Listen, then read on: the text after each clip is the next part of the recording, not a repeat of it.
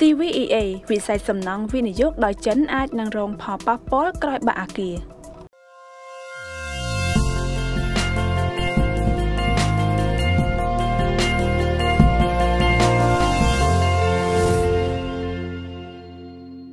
អ្នកជំនាញវិស័យអចលនទ្រព្យកម្ពុជាបានបង្ហាញពីការព្រួយបារម្ភលើការប៉ះពាល់វិស័យអចលនទ្រព្យទាំងមូលជាពិសេសគម្រោងអាគារដែលវិនិយោគដោយវិនិយោគកិនចិនក្រោយមានហេតុការណ៍បាក់រលំអាគារនៅខេត្តព្រះសីហនុកាលពីថ្ងៃទី22ខែមិថុនាកន្លងទៅ លោកចឹកសុកនីមប្រធានសមាគមអ្នកវិដំឡៃនិងភ្នាក់ងារអចលនវត្ថុកម្ពុជា បានមានប្រសាសន៍តាមទូរស័ព្ទឲ្យដឹងថាករណីបាក់រលំអាគារនៅខេត្តព្រះសីហនុវានឹងមានផលអវិជ្ជមានដល់វិស័យសំណង់នៅកម្ពុជា ជាពិសេសសំណង់ដែលសាងសង់ដោយវិនិយោគិនចិន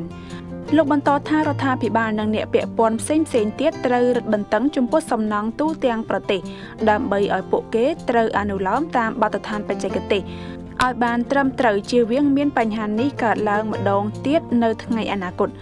លោកបន្តថាអ្នកវិនិយោគឬអ្នកដែលមានបំណងចង់វិនិយោគលើវិស័យសំណង់ដោយទិញឬក៏ជួលអគារខ្ពស់ជាពិសេសនៅខេត្តពិសេសនោះនឹងមានអារម្មណ៍អវិជ្ជមានមួយក្រោយការបាក់រលំអគារនេះហើយអាចនឹងដកសេចក្តីទុកចិត្តពីការវិនិយោគលើវិស័យនេះជាពិសេសគម្រោងរបស់ជនជាតិចិនផ្ទាល់តែម្ដងដូច្នេះហើយវានឹងអាចរងផលប៉ះពាល់មួយចំនួនដល់វិស័យអចលនទ្រព្យតែយ៉ាងណា វាមិនធំធេងពេកនោះទេ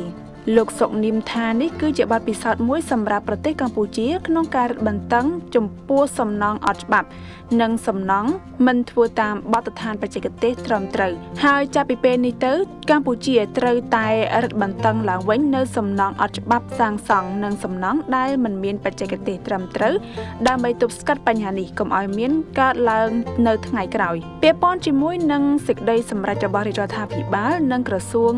រៀបចំដែនដីនគររូបនីយកម្មនិងសំណង់បង្កើតគណៈកម្មការត្រួតពិនិត្យគុណភាពសំណង់នៅខេត្តបរសេនុលោកជ្រឹកសុកនិមបានសាទរនិងគាំទ្រតែគណៈកម្មការនេះមិនគួរ ត្រួតពិនិត្យតែក្នុងខេត្តបរសេនុនោះទេ បន្តបន្ទាប់គួរតែត្រួតពិនិត្យគុណភាពសំណង់ទូទាំងប្រទេសដើម្បីធានាឲ្យបានថាសំណង់នៅកម្ពុជាត្រូវតែមានគុណភាព និងមិនមានបញ្ហានៅពេលក្រោយសម្ដេចអគ្គមហាសេនាបតីតេជោហ៊ុនសែននាយករដ្ឋមន្ត្រីនៃព្រះរាជាណាចក្រកម្ពុជា បានមានប្រសាសន៍ថាសម្ដេចនឹងចាត់ការនៅមន្ត្រីធំណានៅពីក្រោយសំណង់អត់ច្បាប់នៅកម្ពុជា តែរហូតមកដល់ពេលនេះមិនទាន់មានផុសតាងណាមួយបង្ហាញពីមន្ត្រីធំដែលកាងសំណង់អត់ច្បាប់នៅកម្ពុជាឡើយសម្ដេចមានប្រសាសន៍ថានឹងមិនទុកឲ្យអ្នកកាងសំណង់អត់ច្បាប់នៅកម្ពុជាបន្តទៀតនោះទេ